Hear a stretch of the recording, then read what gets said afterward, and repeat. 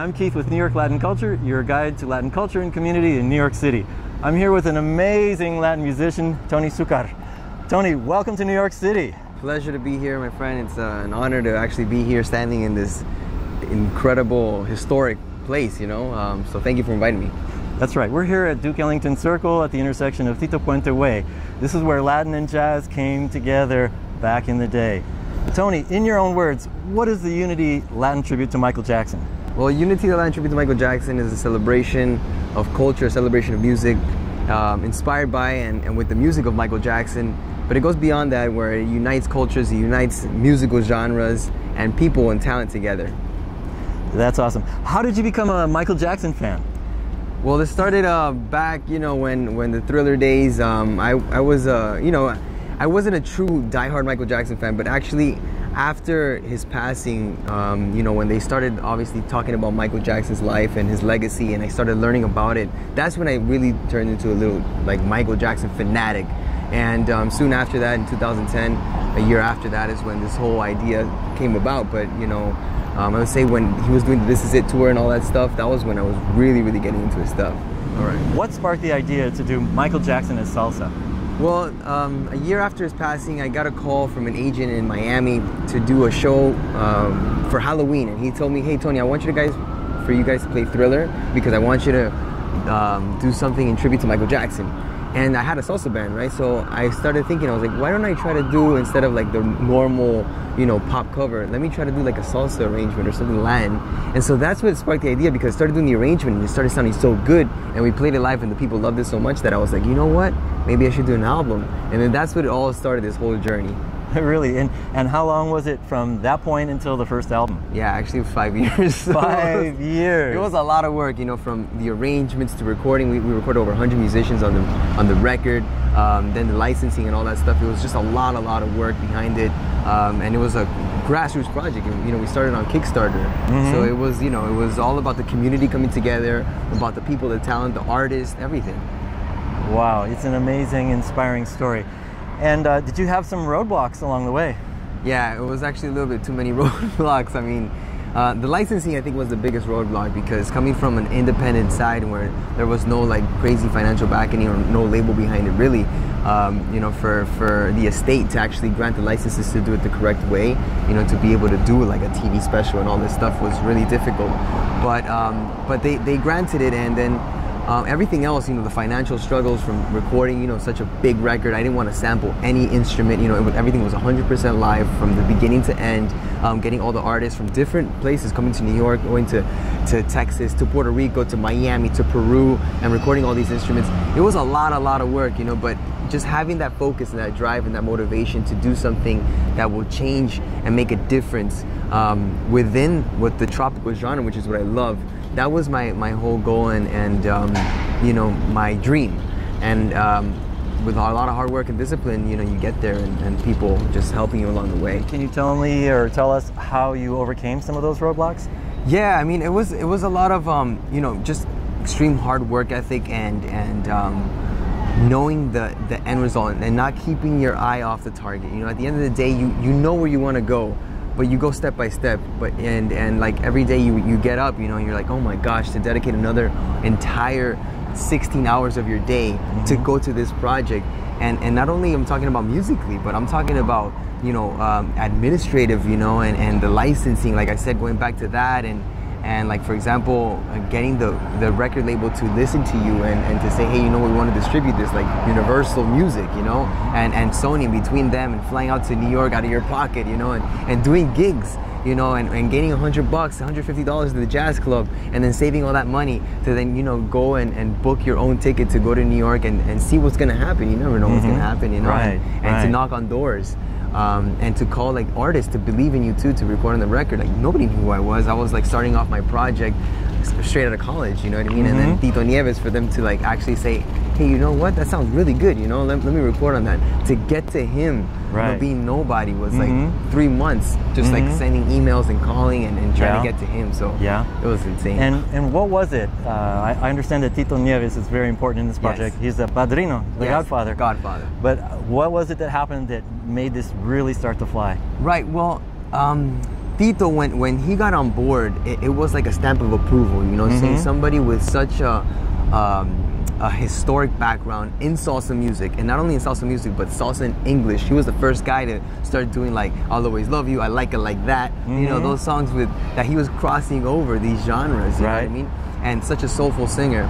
So when he got on board, he started calling artists himself. He's the one who called Jean Rodriguez to come in to record. He was like, "Hey, Mhm. this guy named Jean, um, he's an incredible singer, R&B, soul, salsa, and everything." And then he said, "You know what? The, India would be awesome for this. Hey, why don't you get India?" He called India himself. Oh you know, God. and so it started becoming like a domino effect. And so when these guys came in, and then I started calling other artists myself. I said, "Hey, you know, Obie Bermudez is an amazing artist. Jennifer Peña and all these other people." And and so I was like, "Oh, Tito Nieves is on it." I was like, "Oh my gosh, I want to listen to it now." But you know what?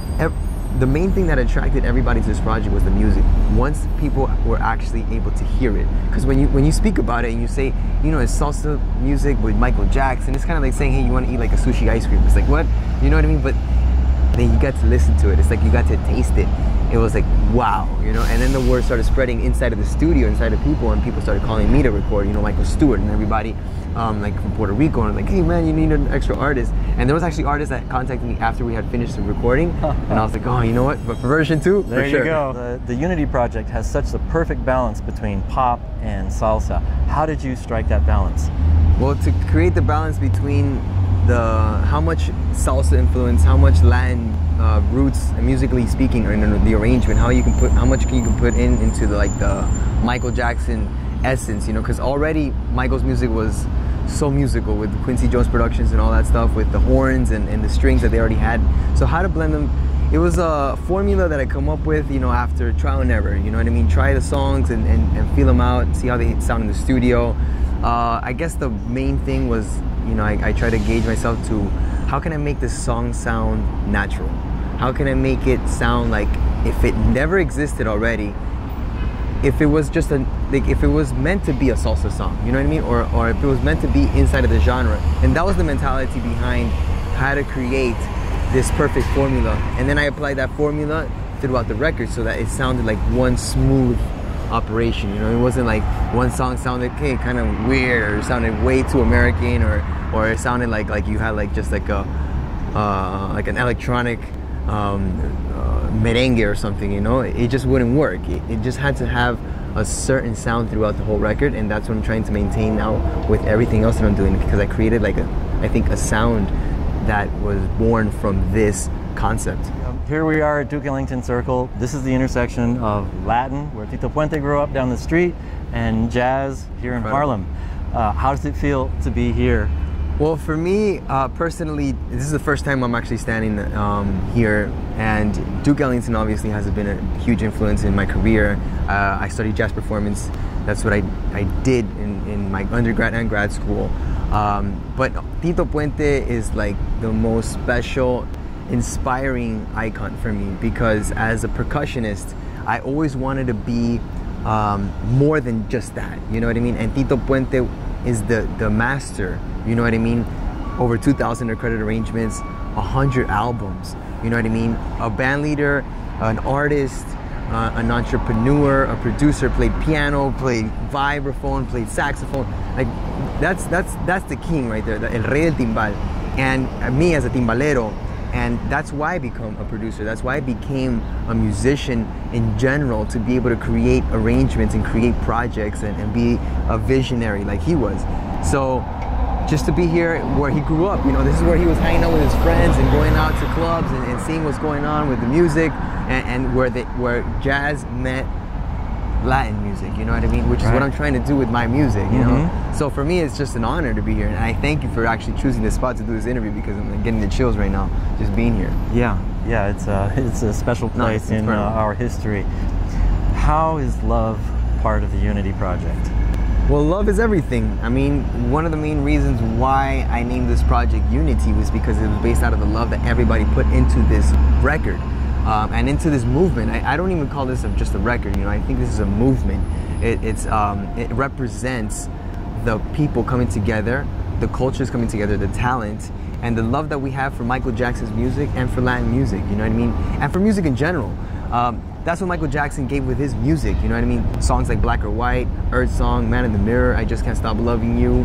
Um, songs that spoke about romance, about love, about the love for the planet, love for the people, no discrimination, self-reflection, earth consciousness, stuff like that that no artist speaks about today. You know what I mean? And that's that's what the basis of this project is: is love and unity because it's about the message, about the about the people just giving a great message, a social positive message, so that we can keep growing as a as a as a, a planet, as a world and as a, as a, just a world culture. You know what I mean? It's just the, the world consciousness. It's like the main inspiration behind what I'm trying to do with my career. It's fantastic. You have a studio album, a PBS special, like a touring concert, yes. and you just released uh, a live album yes. also. What's next for Tony Succar? well, right now, uh, there's a lot of a lot of things on my plate as far as what I want to do. You know, this inspired, this this made my career. This project made my career. It really did. It opened so many doors, but there's just so much more that I want to do. I, these five, six years I've dedicated to just one project to make sure that I do it correctly. And now that I know sort of the ropes, you know what I mean? Like I said, the hurdles that I had to go through, the obstacles. Now I know how this industry works and how everything, so it's gonna be a lot smoother and a lot quicker, mm-hmm. you know? So um, I have a, a, personal studio album that I'm trying to work on that's an all original record inspired by the Unity sound.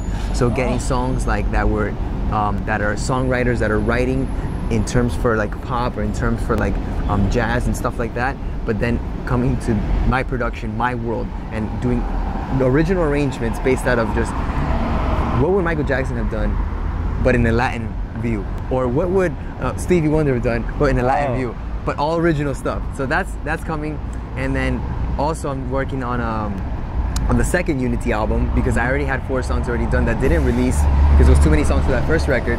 So I'm working on that and new artists to collaborate with, and um, so all you Michael Jackson fans, expect the second album coming soon as well. Great. Uh, when are you going to come to New York City? Oh man, you know what? This is my dream to be able to come here and, and do a show. The only time I played here live was with uh, my SiriusXM show, which was a live in studio thing that we did here, and it was amazing. Actually, the, the video went super viral, um, the Billie Jean video. And um, so I have a guys here in New York that are ready to play, and um, so hopefully soon we will uh, confirm a tour date here because we have a lot of fans in New York. I mean, this is where the mecca of salsa music is, uh, especially the, the the concept of Latin jazz too. You know, so this is my dream to be able to come here with the project, and hopefully soon we'll have a date for you so you come watch us live. Okay, producers, are you paying attention? First one in gets Tony Succar. The last question is what happens when we all come together in unity? Well, I think this project is is is um, is a product of that. You know, it, it's the results of people coming together, communities coming together. Put aside talent, put aside everything. Communities, just people wanting to bond. People saying, you know what, there is no barrier between us. There is no barrier between our cultures. Let's just do something together to create something better, something that will that will be inspiring to our future, to the kids, you know, to the mm-hmm. future generations. And that's what this is about. Um, at the end of the day, we could do it with music, we could do it with sports. We see at the Olympics right now, we could do it with um, food, you know what I mean? The chefs coming together and creating fusions. So every time you, you collide and you, you make a, a, unification between um, anything, it's always good, always with a positive attitude though. So that's what this is about, and, and, and I hope that this is this inspires other people to create the same type of you know whether if anything in art or anything in general, you know. Excellent. Well, you can fall in love with Latin culture in New York City at newyorklatinculture.com. Thank you very much, Tony. Thank you so much.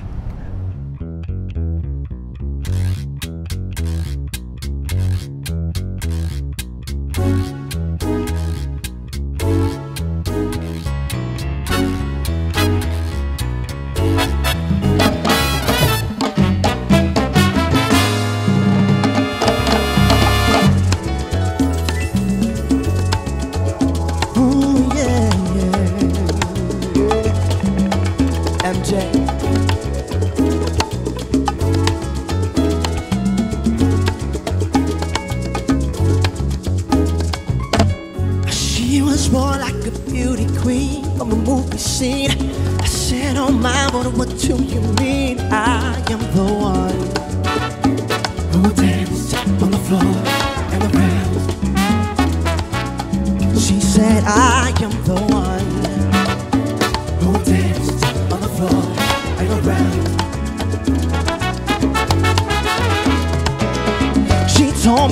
Name was Billie Jean. She crossed the scene. And every hand turned with that, that dream of being the one. So dance on the floor and around.